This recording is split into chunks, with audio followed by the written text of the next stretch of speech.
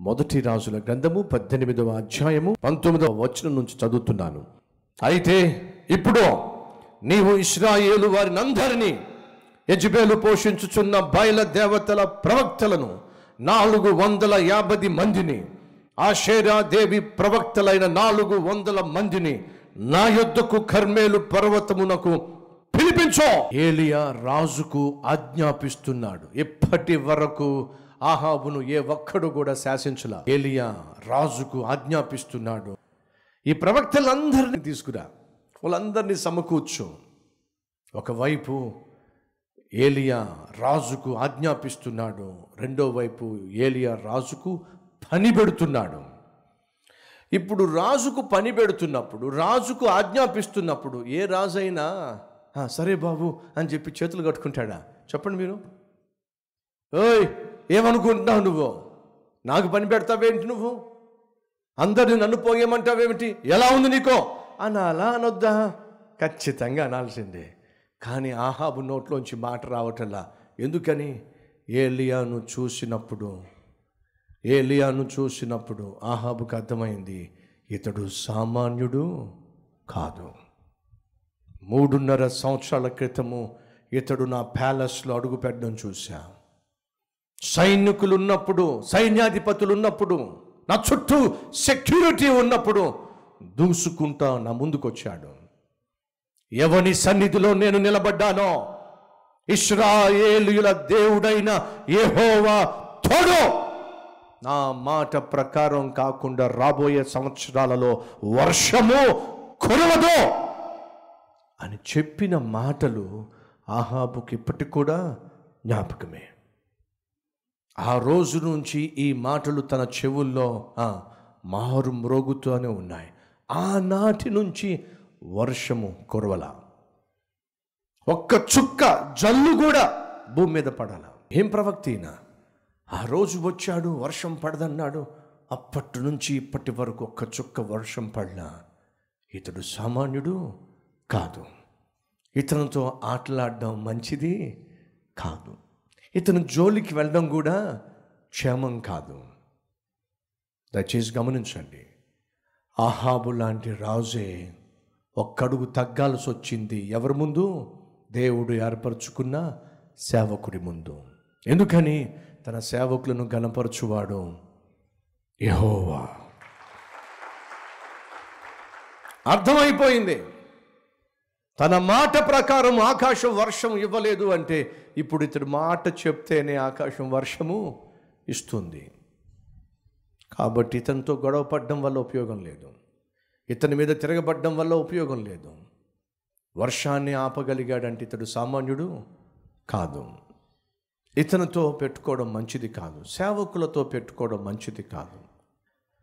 దేవుని కొరకు రోషము కలిగి జీవించే సేవకులను ఇబ్బంది పరచటం వారితో పోరాడడం వారిని గాయపరచటం వారిని నిందించటం వారిని విమర్శించటం వారిని బెదిరించటం మంచిది కాదు. ఆహాబు ఆ సత్యం తెలుసుకున్నాడు. తీసుకురా! బయలుదేవత ప్రవక్తలందరినీ తీసుకురా. అషేరాదేవి యొక్క ప్రవక్తలందరినీ తీసుకురా అని శాసనం చేస్తున్నప్పుడు ఆహాబు ఏమీ మాట్లాడకుండా మౌనంగా ఉండిపోయాడు. కారణం ఏమిటి? ప్రయోజనం లేదు. ఈ సేవకునితో గొడవ పడడం వల్ల ప్రయోజనం లేదు.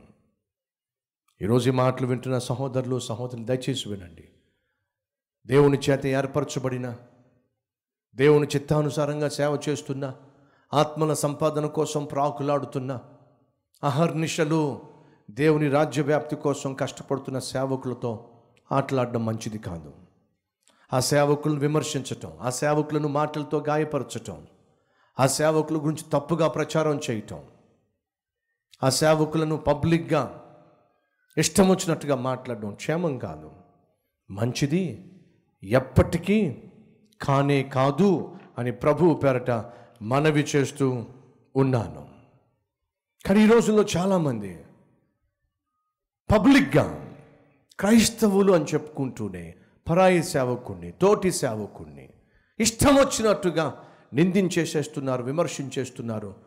ఎంత బుద్ధిహీనత అండి. ఎంత మూర్ఖత్వం అండి. ఇతర మతస్థులలో కూడా బోధకులు ఉన్నారు సేవకులు ఉన్నారు వాళ్ళు ఒకరినొకరు నిందించుకోవట్లేదే.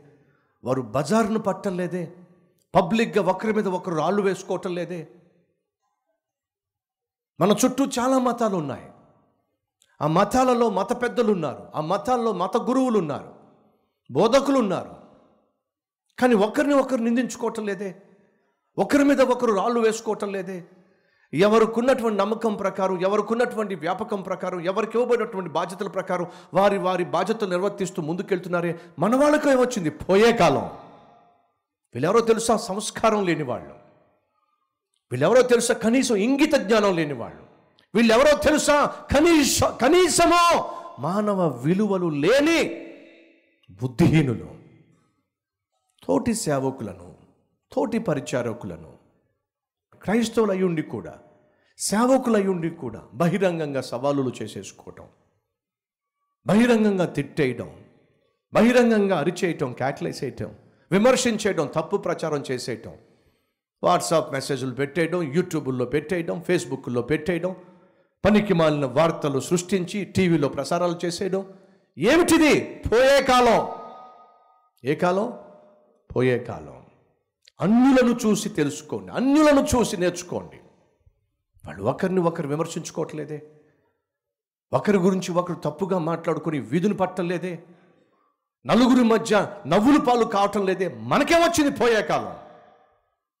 వీళ్ళు దేవుని సేవకులు కాదు సైతాను చేత దేవుని సంఘంలోనికి దేవుని సమాజంలోనికి పంపించబడిన సైతాను యొక్క ప్రతినిధులు. కాబట్టి పేరు పెట్టి మరీ ఇష్టం వచ్చినట్టుగా తప్పుగా మాట్లాడుతున్నారు. అలా తప్పుగా మాట్లాడుతూ ఏమంటారో తెలుసా? మేము ఉట్టిన తప్పుగా మాట్లాడుతున్నామా? వాళ్ళు చేస్తుంది తప్పు. వారి బోధలు తప్పు. వాళ్ళ సేవ తప్పు. వాళ్ళ పరిచర్య తప్పు. ఒక నిమిషం ఆగండి. కయ్యూను దగ్గరకు వెళ్ళి కయ్యను కయ్యను ఏబేల్ని ఎందుకు చంపావు నాయన అంటే కయ్యం దగ్గర బోల్డ్ అని కబుర్లు ఉన్నాయి చెప్పడానికి. ఫలానా కారణం వల్ల ఫలానా కారణం వల్ల ఫలానా కారణం వల్ల నేను ఆ హేబేల్ని ద్వేషించాను హేబేల్ని చంపాలనుకున్నాను. కయ్యను కూడా చెప్తాడు కారణాలు. సౌలు దగ్గరకు వెళ్ళి సౌలా సౌలా నువ్వెందుకు దావీదును ఆ విధంగా విమర్శిస్తున్నావు? దావీదును ఆ విధంగా ఎందుకని చంపాలనుకుంటున్నావు? దావీదు మీద కారాలు నురియాలను నూరేస్తా ఉన్నావు. ఏమిటంటే సౌలు దగ్గర సవా లక్ష కారణాలు ఉన్నాయి దావీదును చంపడానికి దావీదును చంపాలనుకోవడానికి. యోధా ఇస్కరయోత్ దగ్గరికి వెళ్ళి యోధా ఇస్కరయోత గురువు గారైనటువంటి యేసుక్రీస్తుని ఎందుకయ్యా ముప్పై వెండి నాణ్యాలకు తాకట్టు పెట్టేశావు అని చెప్పి నువ్వు వెళ్ళి కూర్చుని మాట్లాడు. యోధా ఇస్కరయోత్ కూడా చెప్తాడు సవా లక్ష కారణాలు. నిందించే ప్రతి పనికి మాలిని వాడు కారణాలు చెప్పే ప్రయత్నం చేస్తాడు. కయ్యను అడగండి కారణాలు చెప్తాడు. సౌల్ని అడగండి కారణాలు చెప్తాడు. యుధ ఇస్కరేతుని అడగండి ఎందుకయ్యా యేసుక్రీస్తుని లోక రక్షకుణ్ణి ముప్పై వెండి నాణ్యాలకు అమ్మేశావు? ఎందుకయ్యా? అంటే వాడు కారణాలు చెప్తాడు. ఎందుకని? వాడు నీ తమ్ముడు కాబట్టి లేదా నీ అన్న కాబట్టి. వాడి బాటలో నువ్వు వెళ్తున్నావు కాబట్టి. నీ దగ్గర ఎన్ని కారణాలు ఉన్నాయో?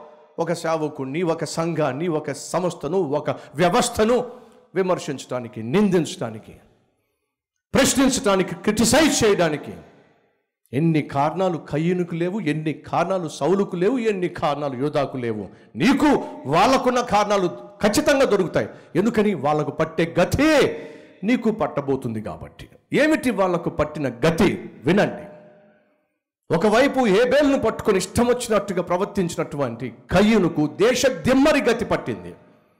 మరొక వైపు దావీదును దేవుడు ఏర్పరచుకుంటే అటువంటి ఏర్పరచుకున్న దావీదును పట్టుకొని చంపాలని చెప్పి బహు భయంకరంగా దావీదును వెంటాడినటువంటి సౌలుకు ఏ గతి పట్టింది? తను తాను చంపుకునే గతి పట్టింది.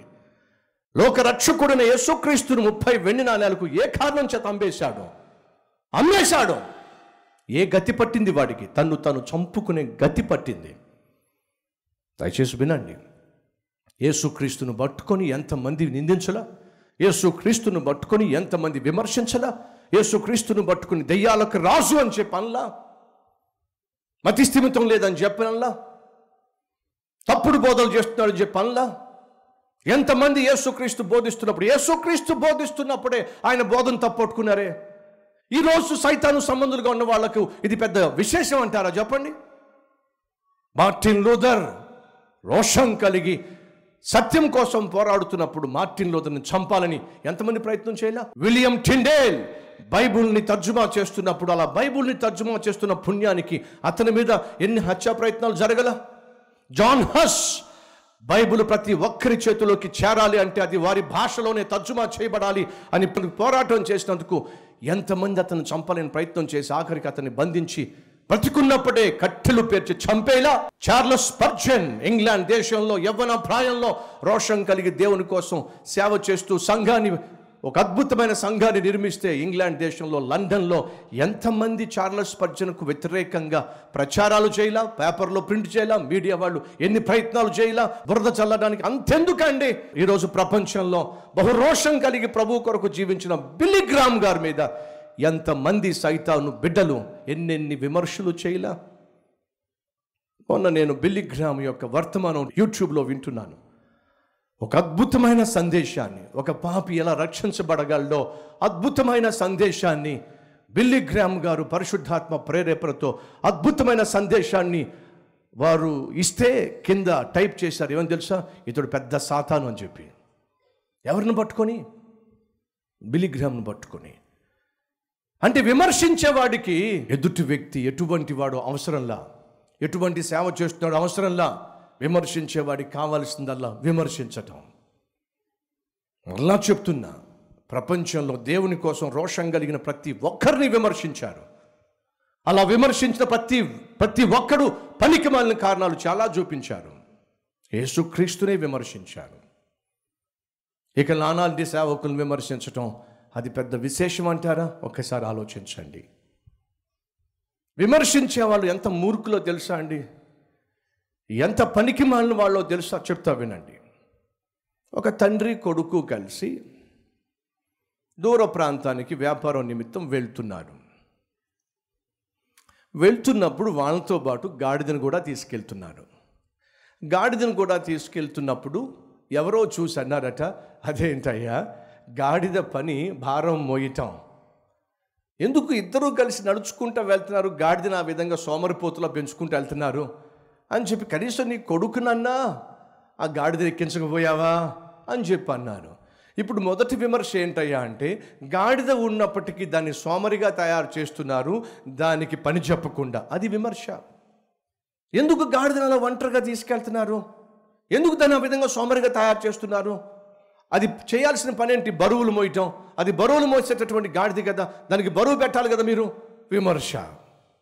నెక్స్ట్ విలేజ్కి వెళ్ళేసరికి ఎందుకు ఇద్దరూ కూడా పక్క పక్క నడుచుకుంటూ వెళ్తున్నారు? ఏమయ్యా తండ్రి నీకు బుద్ధి ఉందా నువ్వు పెద్దవాడు కాబట్టి నడవగలవు కాబట్టి నడుచుకుంటూ వెళ్తున్నావు. ఆ పసిపిల్లవాడు ఏం చేశాడు? కనీసం వాణ్ణన్నా గాడిద మీద కూర్చోబెట్టచ్చుగా. అని అంటే తండ్రి నిజమే కదా పాపం అని చెప్పి కొడుకుని తీసుకెళ్ళి గాడిద మీద కూర్చోబెట్టాడు. ఇప్పుడు నడుచుకుంటూ నడుచుకుంటూ వెళ్తా ఉన్నాడు తన మార్గంలో. నెక్స్ట్ వి నెక్స్ట్ విలేజ్ వచ్చింది నెక్స్ట్ గ్రామం వచ్చింది. అలా నెక్స్ట్ గ్రామం వచ్చినప్పుడు ఆ నెక్స్ట్ గ్రామంలో ఉన్న వాళ్ళు ఏం చేశారో తెలుసా? ఈ కుర్రవాడిని చూసి ఎరా బుడతా నీకు బుద్ధి ఉందా నువ్వు కుర్రోడివి బలం గలవాడివి. నువ్వు చక్కగా నడుచుకుంటూ వెళ్ళాలి కానీ మీ తండ్రిని నడిపిస్తామంటారు బుద్ధి లేకుండా? నువ్వు దిక్కిందకి? నువ్వు దిగి మీ నాన్న ఎక్కించో. వయసు మీద పడుతున్న అతను నడవాల్సింది లేక కుర్రోడు నువ్వు నడవాల్సింది? నువ్వు కింద దిగు ఆయన పైకెక్కించు. నిజమే కదా అని చెప్పి పాపం ఆ కుర్రోడు కిందకి దిగాడు. తండ్రినేమో పైకెక్కించారు. ఇప్పుడు తండ్రి వెళ్తా ఉంటే నెక్స్ట్ వి నెక్స్ట్ విలేజ్ వచ్చేసరికి ఏమయ్యా? గాడిద పని ఏమిటి?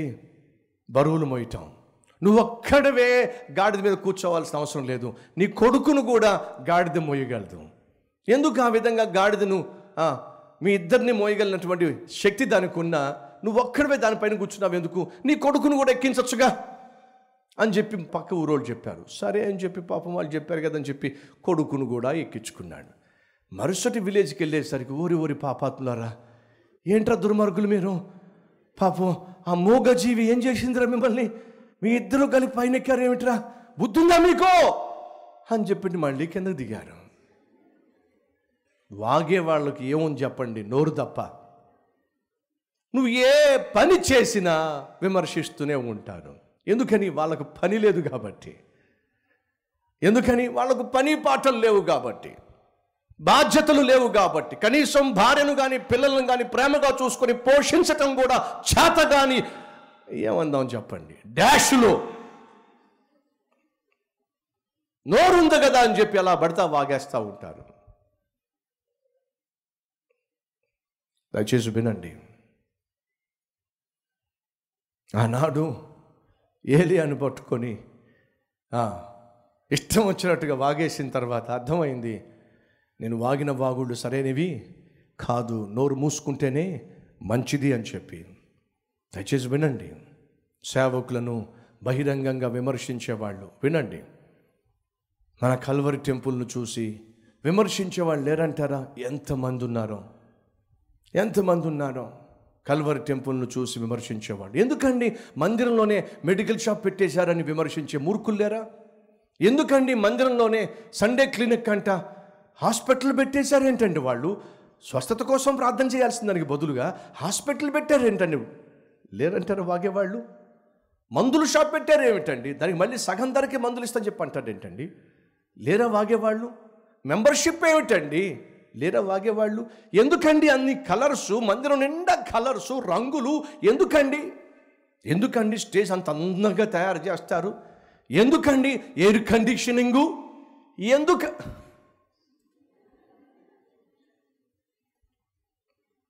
నేను చెప్తున్నాగా ప్రతి dash విమర్శించగలడు.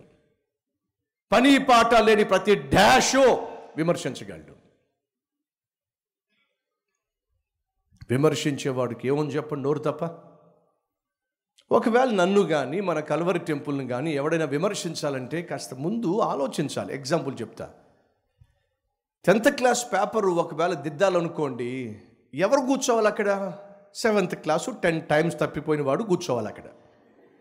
Seventh class ten times తప్పిపోయిన వాడు కూర్చొని టెన్త్ క్లాస్ పేపర్ దిద్దాలి.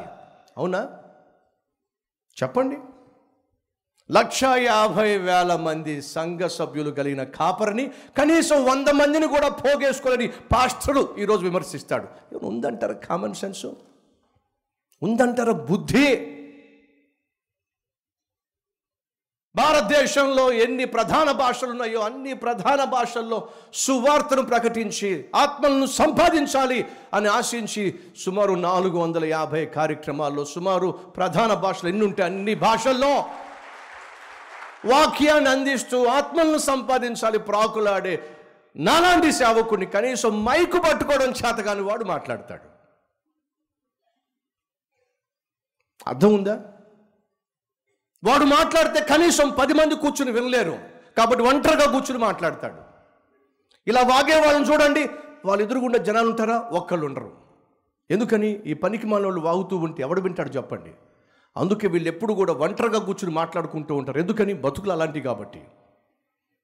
కానీ ఈరోజు సతీష్ కుమార్ వాక్యం ప్రకటిస్తూ ఉంటే వేల సంఖ్యలో లక్షల సంఖ్యలో ప్రజలు వచ్చి వింటున్నారు. ఎందుకని? ఆ వాక్యంలో శక్తి ఉంది కాబట్టి. ఆ వాక్యంలో బలం ఉంది కాబట్టి. ఆ వాక్యంలో సత్యం ఉంది కాబట్టి. మన భారతదేశ చరిత్రలో ఆసియా ఖండంలో లక్ష మందికి పైగా ఆదివారం దేవుని సంధికి వచ్చి దేవుణ్ణి ఆరాధించేటటువంటి సంఘం మన దేశంలో దేవుడిస్తే సంతోషించడానికి బదులుగా దేవుని మహిమపరచడానికి బదులుగా ఈ బుద్ధిహీనులు ఏం చేస్తారో తెలుసా? సైతాను ఎంతగా ప్రేరేపిస్తే అంతగా వాటి ప్రేరేపణకు ఊగిపోతా ఊగిపోతా ఊగిపోతా ఏం చేస్తారు? విమర్శిస్తూ ఉంటారు. దయచేసి గమనించండి. దేవుణ్ణి మహిమపరచాల్సిన విషయంలో మహిమపరచండి. ఒకవేళ మీరు పెర్ఫెక్ట్ సేవకుడిని భూమి మీద చూడాలి అనుకుంటే ఎప్పటికీ చూడలేరు. కారణం ఏమిటి? ఏ ఒక్కరు పెర్ఫెక్ట్ కాదు. ఒక సేవకుడిని మనం విమర్శించాలి అంటే ముందు మనల్ని మనం ప్రశ్నించుకోవాలి. అసలు మనం ఏం చేసాం సేవ? ఆ మధ్య ఎవరో నా గురించి మాట్లాడే ప్రయత్నం చేస్తే అన్నారట బాబు నువ్వు కూడా యాభై రెండు రోజుల్లో సంఘం కట్టి అప్పుడు మాట్లాడు కూర్చో. ఏంటట? నువ్వు కూడా యాభై రెండు రోజుల్లో మందిరం కట్టి అప్పుడు మాట్లాడు. కూర్చో. నువ్వు కూడా లక్ష మందికి పైగా సభ్యులు ఉన్నటువంటి సంఘాన్ని స్థాపించి మాట్లాడు. అప్పుడు దాకా వాగమాకు. ఎందుకని నీ మాటకు విలువ ఉండదు. నువ్వు సెవెంత్ క్లాస్ టెన్ టైమ్స్ తప్పిపోయి పిహెచ్డి చేసేవాడికి నువ్వు మార్కులు వేయాలని ప్రయత్నం చేస్తున్నావు. ఎవడు విండు? పిచ్చోడు అనుకుంటారు నిన్ను. ఈరోజు సతీష్ కుమార్ మాట్లాడుతూ ఉంటే ఆ మాటల్లో ఉన్న శక్తిని అనుభవించేవాళ్ళు ఆస్వాదించేవాళ్ళు ఆనందించేవాళ్ళు లక్షల సంఖ్యలో ఉన్నారు. కనీసం మైక్ పట్టుకుని మాట్లాడుతూ ఉంటే వినడానికి జనమే లేనటువంటి వాళ్ళు వచ్చి విమర్శిస్తానంటారు. జాగ్రత్తగా గమనించండి. నేనే కాదు నాతో పాటు సేవలో పాలు పంచుకుంటున్న మన సహోదరులు సేవ చేస్తున్న వారందరినీ గమనించండి. వేల సంఖ్యలో లక్షల సంఖ్యలో ప్రజలు వాక్యం వినడానికి వస్తూ ఉంటారు. ఇలాంటి మాలాంటి వారిని విమర్శించేటటువంటి ఈ సైతాను సంబంధం చూడండి. వాళ్ళ ముందు ఎవ్వరూ ఉండరు. మైకులు పట్టుకుని కూర్చుంటారు. ఎందుకని? మన మైక్ కావాల్సింది ఏంటి చెప్పండి? ఒక యాంప్లిఫైర్ అంతేగా? మైకు యాంప్లిఫైర్ ఇంతేగా వీళ్ళ బ్రతుకులు? చెప్తున్నా. ఎవరైనా సతీష్ కుమార్ని విమర్శించాలంటే సతీష్ కుమార్ చేసే సేవ కంటే మెరుగైన సేవ చేసి బాబు సతీష్ కుమార్ నువ్వు చేస్తున్న సేవ ఇలా ఉంటే బాగుంటుందయ్యా. ఇంకొంచెం ఈ విధంగా చేస్తే బాగుంటుందయ్యా. ఎందుకంటే నేను అలాగే చేసి ఈ స్థాయికి వచ్చాను. నువ్వు కూడా ఆ విధంగా రా రావాలని చెప్తే నాబోటి వాడు ఖచ్చితంగా వింటాడు. నదిని ఈదుకుంటూ వెళ్తున్న వాడికి కనీసం ఈతరానోడు మునిగిపోయేవాడు జాగ్రత్త ఆ, జాగ్రత్త అన్నాడు అనుకోండి. ఏమన్నా బుద్ధి ఉందా? ఏమన్నా బుద్ధి ఉందా? ఈదటం చేతగాక గుటకలేసేవాడు ఈదుకుంటూ ముందుకెళ్తున్నవాడిని చూసి కామెంట్లు చేస్తే బుద్ధి ఏమైనా ఉందంటారా? దయచేసి గమనించండి. ఏలియాను పట్టుకొని నువ్వే నువ్వే దీని అంతటి కారణం అంటే ఏలియా నోరు మూయించేశాడు. ఊరుకో ఊరుకో దయచేసి గమనించండి. నన్ను కానివ్వండి మన కల్వరి టెంపుల్ పరిచర్యను కానివ్వండి ఎవరైనా విమర్శించే ప్రయత్నం చేస్తే ఏ ఒక్కడినైనా సరే నోరు మూయించగలిగిన శక్తి దేవుడు నాకు ఇచ్చాడు కానీ నా నా నా నా పని అది కాదు. నా పని సువార్త ప్రకటించటం. క్రీస్తు యొక్క ప్రేమ సువార్తను ప్రకటించటం వాక్యమును ప్రకటించటం. కాబట్టే ఈ సైతాను కుక్కలు ఎన్ని మాట్లాడినా ఎన్ని అన్నా పట్టించుకోను కారణం ఏమి తెలుసా? నాకు ఇచ్చిన సేవ చాలా విలువైంది. ఇచ్చిన బాధ్యతలు చాలా విలువైనవి. దేవుడు నాకు ఇచ్చిన వాక్కు శక్తి చాలా శక్తితో కూడింది. ఆ వాక్యాన్ని అందించవలసిన నేను. ఇంత అద్భుతమైన సేవలు సంఘాన్ని నడిపించవలసిన నేను. అనేక భాషల్లో మన దేశంలో ప్రతి ఒక్కరికి సువార్త అందాలి అని ప్రయాసపడే నేను ఈ ఊర కుక్కలకు జవాబిచ్చుకుంటూ కూర్చుంటే ఈ సేవ నేను చేయలేను. వాళ్ళకి ఎలాగూ సేవ లేదు కాబట్టి వాళ్ళు అరుచుకుంటూ కేకలేసుకుంటూ మురుక్కుంటూ ఉంటారు. సందర్భం వచ్చింది కాబట్టి ఈ విషయం మీతో పంచుకుంటున్నాను. సందర్భం వచ్చింది కాబట్టి ఈ విషయాన్ని ముందు తీసుకొస్తున్నాను. ఏలియా లాంటి వాడిని పట్టుకుని తప్పు పట్టుకుంటున్నాడు. ఏలియా లాంటి వాడినే పట్టుకొని ఆహాబు నిందిస్తున్నాడు. ఎస్ ఏలియా కావచ్చు యేసుక్రీస్తు కావచ్చు ఎలీషా కావచ్చు దేవుని సేవ చేసేటటువంటి ఎవరైనా కావచ్చు. నిందించేవాళ్ళు ద్వేషించేవాళ్ళు విమర్శించేవాళ్ళు సహజంగా ఉంటారు. కానీ యేసుక్రీస్తు ఏం చేశాడు? వాళ్ళు ఆ విధంగా ఇష్టం వచ్చినట్టుగా మాట్లాడుతూ ఉంటే కాముగా అక్కడి నుంచి వెళ్ళిపోయాడు. తన పని తాను చేసుకుంటూ వెళ్ళిపోయాడు. ఎందుకని? తాను ఒక దర్శనంతో ఈ భూమి మీద జన్మించాడు. ఒక ఉద్దేశంతో ఈ భూమి మీద జన్మించాడు. అలా ఉద్దేశంతో జన్మించిన యేసుక్రీస్తు ఏం చేశాడు? తన తండ్రి పనిని కొనసాగిస్తూ ముందుకు సాగిపోయాడు. తన తండ్రి పనిని కడముట్టించాడు. పని పాట లేని పరిచయలు ఏం చేశారు? విమర్శిస్తూ నిందిస్తూ ఇష్టం వచ్చినట్టుగా మాట్లాడాడు. యేసుక్రీస్తు ఏమో ముందుకు సాగాడు. సేవక ఈ కుక్కలు మరుగుతూనే ఉంటాయి. విమర్శించే వాళ్ళు విమర్శిస్తూనే ఉంటారు. పట్టించుకో మాకు. మరలా చెప్తున్నా కుక్కల పని మొరగటమే ఏనుగు పని ముందుకు సాగటమే. ప్రపంచంలో దేవుని కొరకు రోషం కలిగి జీవించిన ప్రతి సేవకులను సైతాను సైతాను మనుషులు నిందించే ప్రయత్నం చేశారు విమర్శించే ప్రయత్నం చేశారు రాళ్ళు వేసే ప్రయత్నం చేశారు.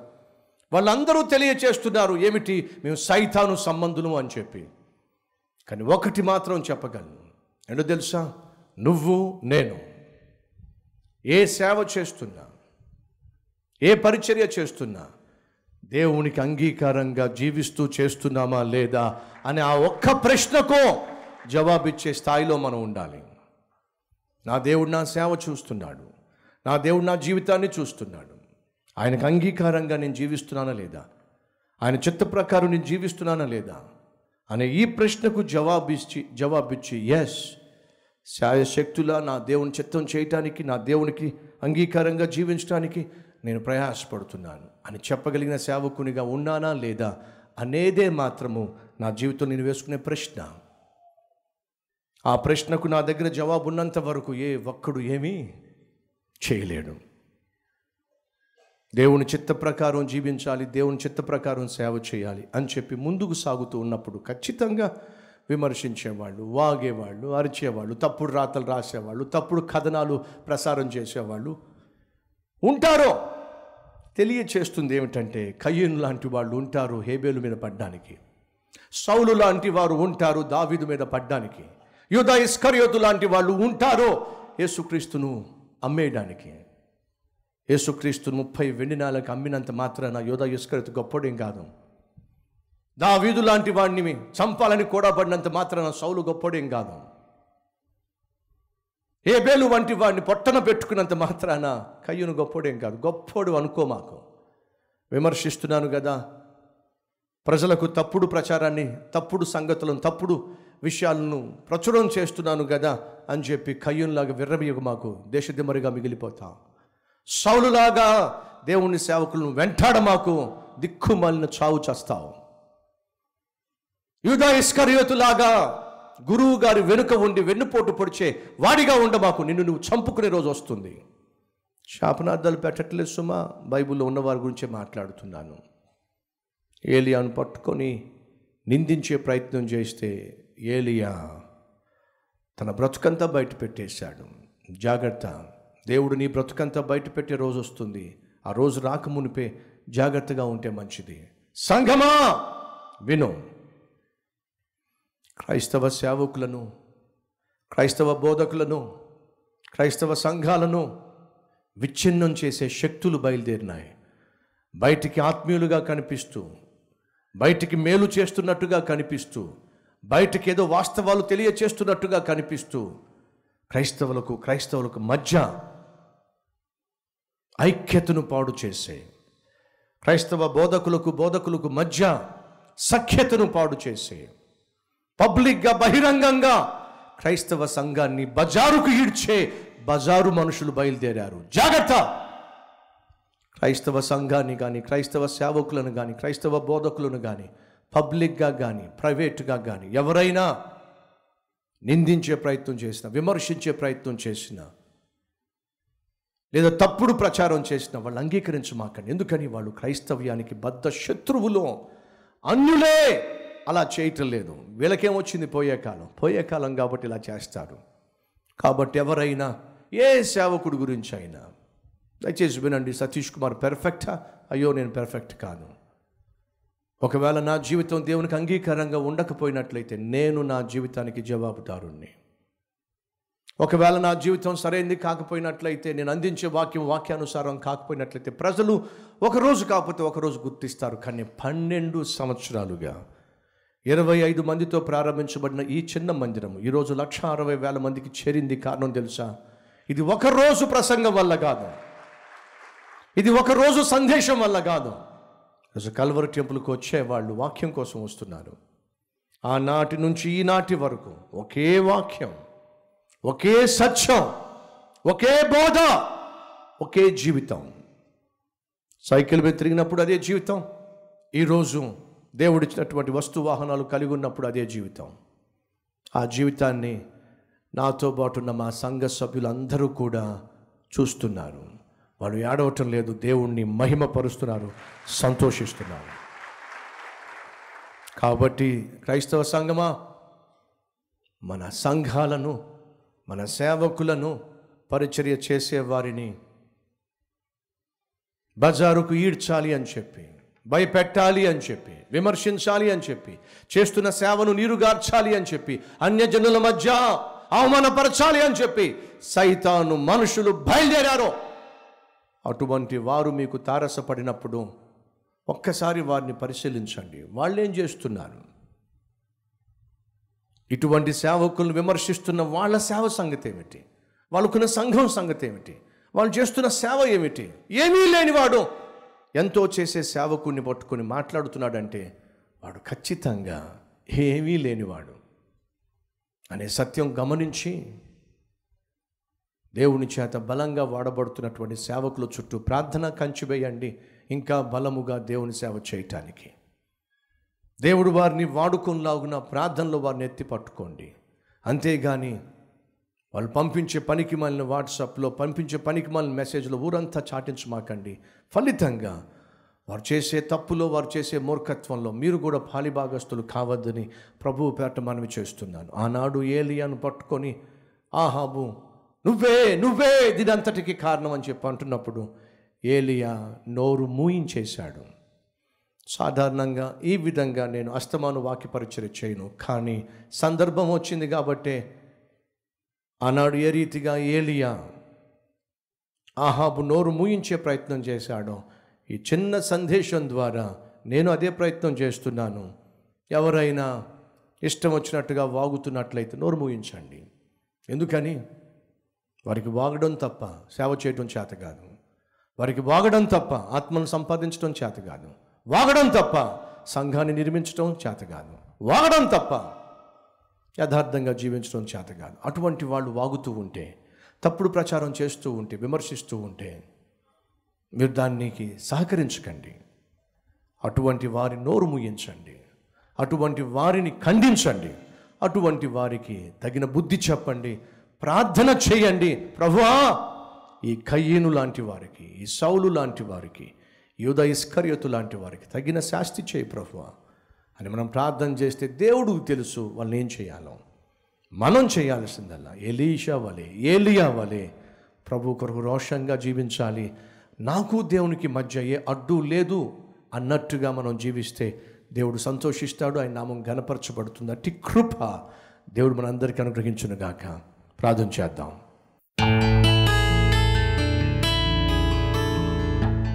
పరిశుద్ధుడు అయిన తండ్రి ఆనాడు ఏలియా నీ చిత్త ప్రకారము సేవ చేస్తూ ఉన్నప్పుడు ఏలియా లాంటి వాణ్ణి పట్టుకొని ఆహాబు నిందించేస్తున్నాడు. ఈరోజు నాయన నీ రాజ్య విస్తరణ కొరకు ఆత్మల సంపాదన కొరకు ఎంతో కొంత ప్రయాసపడుతున్న సేవకులను సైతాను సంబంధులు విమర్శిస్తూనే ఉన్నారు.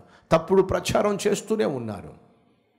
అలా తప్పుడు ప్రచారం చేసేటటువంటి వారిని మీరు దృష్టించి వారి నోరును ముగించండి ఫలితంగా నీ సంఘాన్ని సంఘక్షేమాన్ని కాపాడండి. బుద్ధిహీనుల్లాగా సైతానుకు లోబడిపోయి అదేదో ఘనకార్యంగా పబ్లిక్గా విమర్శించే తప్పుడు ప్రచారం చేసే ప్రతి ఒక్కరిని మీ యొక్క అదుపులో తీసుకొని బుద్ధి చెప్పమని సంఘమును సేవను సేవకులను అనగా నిచిత్త ప్రకారము సేవ చేసే వాక్యాన్ని బోధించే సేవకులను నువ్వు నిత్యము కాపాడుతున్నావు ఇంకను కాపాడి బలముగా వాడుకోమని చిత్తానుసారంగా జీవిస్తూ ఆహాబు వంటి వారిని ఎదుర్కొని ధైర్యంగా ముందుకు సాగే భాగ్యం ఇవ్వమని ఏసునామం పేరట వేడుకుంటున్నాం తండ్రి. Amen. Address Calvary post box number thirty Kukatpally Hyderabad seventy two.